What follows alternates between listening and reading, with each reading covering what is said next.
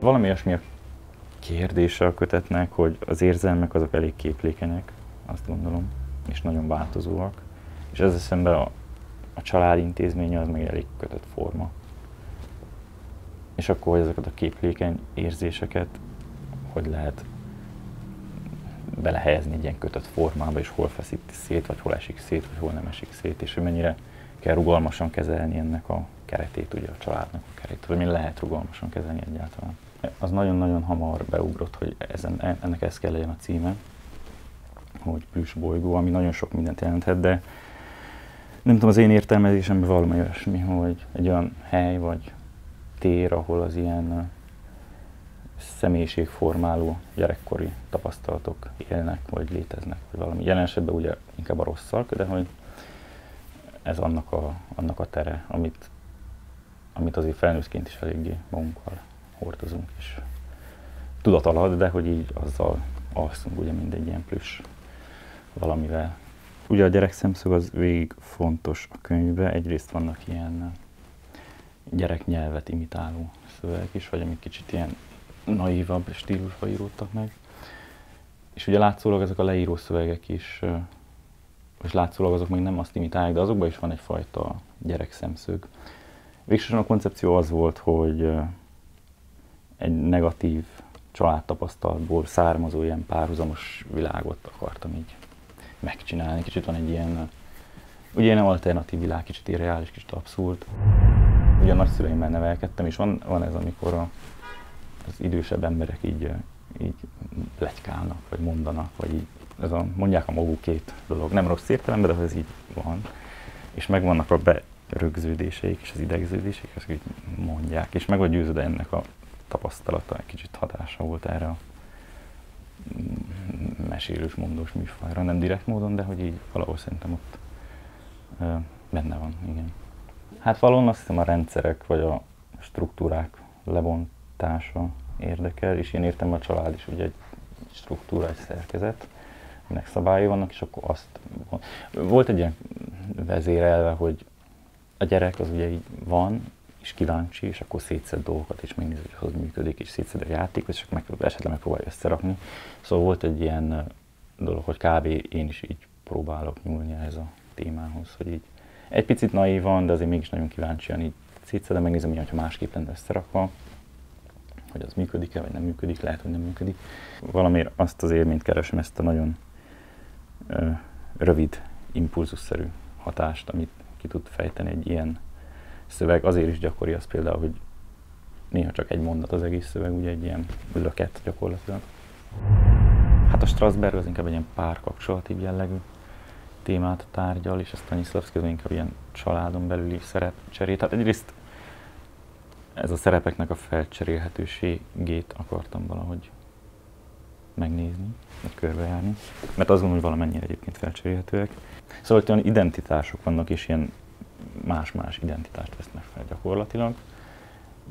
És de számomra mindig kérdés volt az, hogy mondjuk egy kapcsolatban, de nem feltétlenül romantikusban, bármilyen emberi kapcsolatban, fontos az, hogy valamennyire kell idomolni a másikhoz. És hogy hol van az a határ, ahol már nem idomolunk, hanem torzulunk, tehát mi az, ahol ö, amik még mi vagyunk, és belefér, és ami már nem mi vagyunk, de hogy valamiért mégis beleerőltetjük magunkat abba a helyzetbe. És itt ugye ezek a szereplők kicsit szerintem azt csinálják, hogy hát ilyen kicsit abszurd módszerrel próbálnak összetartani valamit, ami már valószínűleg nem működik, vagy nem jó, vagy már igazából szét van esve, csak valami megvan ez a berögződés, hogy ezt azért mégis kell csinálni, mert igazából maguk se értik, hogy miért.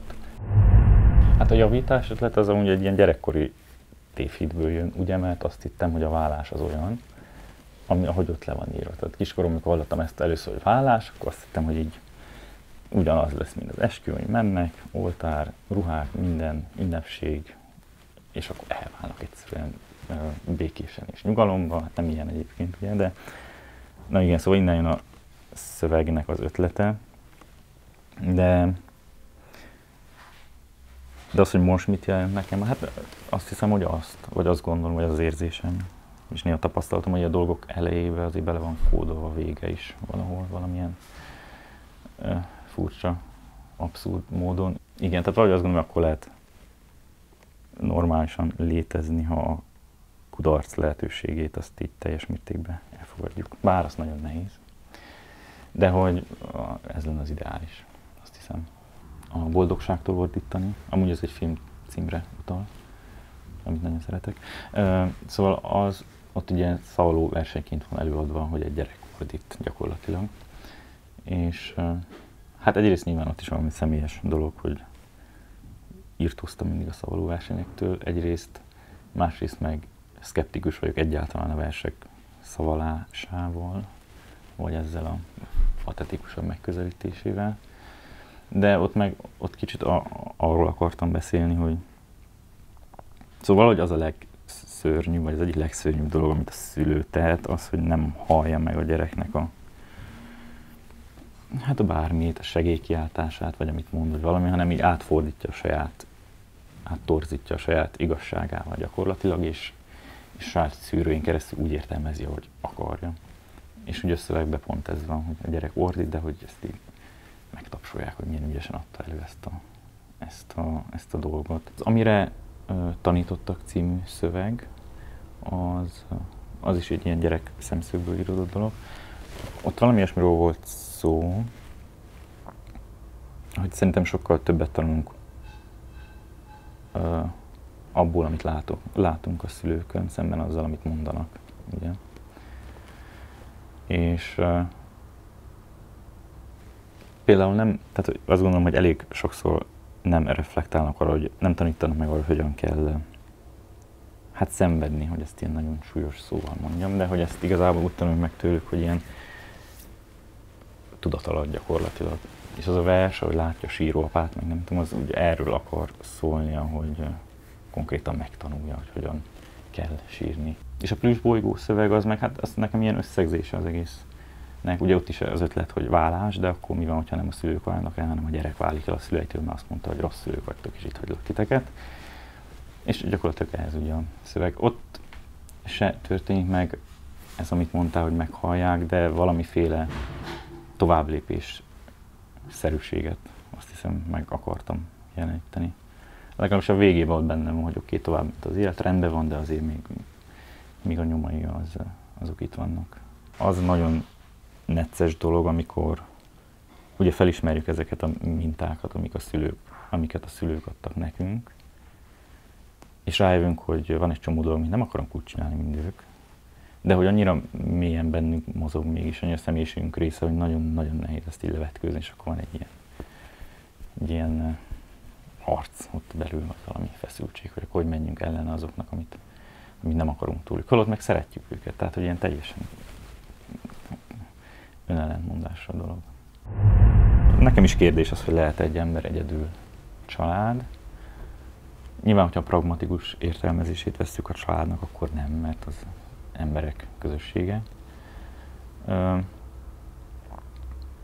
De hát van, aki azért rákényszerül, hogy saját maga oldja meg ezeket a dolgokat. Nem tudom. Tehát, hogy az én ért, hogy nekem a család az mondjuk egy olyan érzés, hogy ha zuhanok, vagy zuhan valaki, egzisztenciálisan érzelmileg bármilyen módon, akkor van ott valahogy egy védőháló, ami így elkapja. És ez a védőháló, ez ugye szerintem majd, hogy nem bárki lehet. Tehát igazából az, a család az majdnem lehet bárki. Szóval simán vannak olyan helyzetek, hogy két barát sokkal jobban megcsinálja ezt a biztonsági érzetet, amit a szülők kellene, hogy megcsináljanak. Ez így van. És, és azt is gondolom, hogy ez a védőháló, ez így mindenkinek guiar.